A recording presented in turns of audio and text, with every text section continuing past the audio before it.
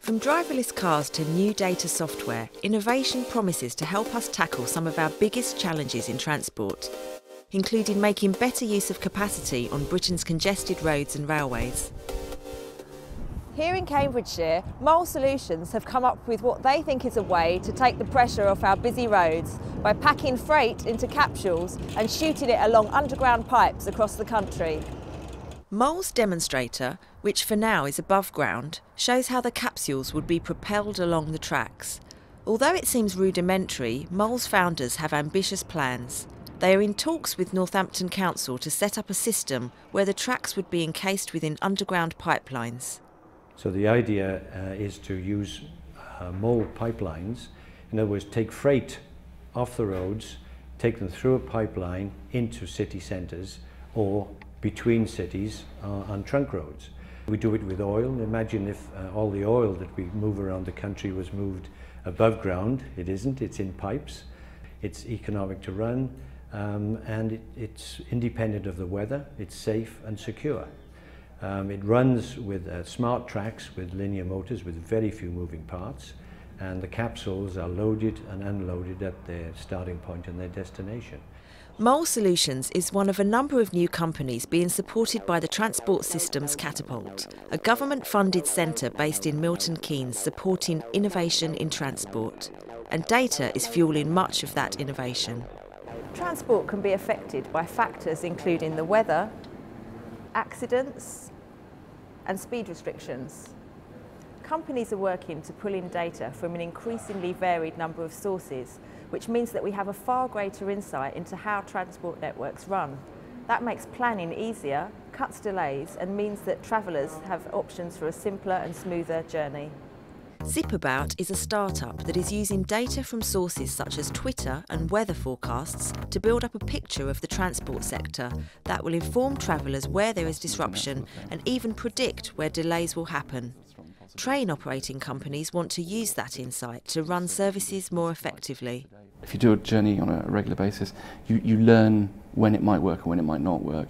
You know which trains will be overcrowded. You know which road jams up at five o'clock in the evening. You can begin to find your way around your own sort of small hotspots. In its ultimate scenario, you can begin to map people around hotspots to the point that they don't exist anymore. What we're trying to do in Oxfordshire is the first test case of that. Also making use of data is ITO World, which transforms complex data sets into infographics.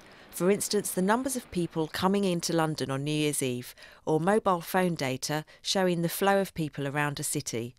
That helps transport planners and operating companies identify trends.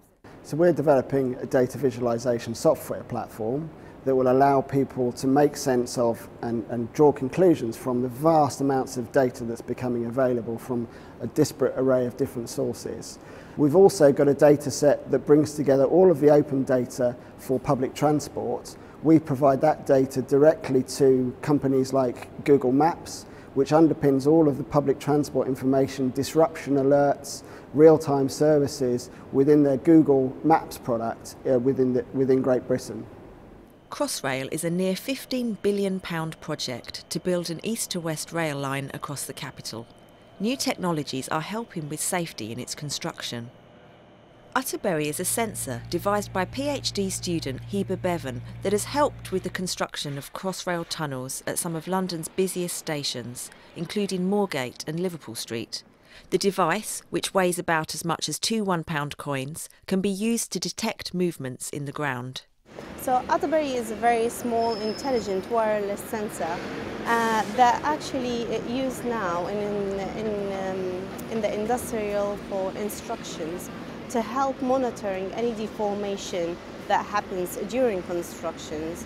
And because it's very small and light, it, it can be very safely installed by one person and that is, will minimize the time that is being spent in very um, dangerous sites.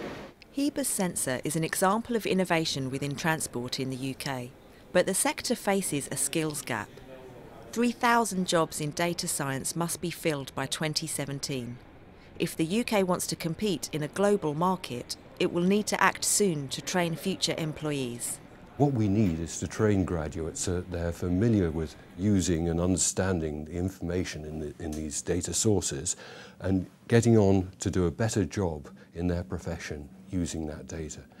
Now what that comes down to is delivering the same amount of transport at lower cost and lower intrusion to the environment, uh, less CO2, less energy consumption. It's a completely new area for engineers to be working in, in this context. Securing the funding to grow will be critical for these new transport startups.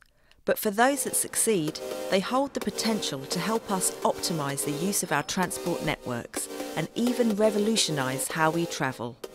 Jane Wild, Financial Times, London.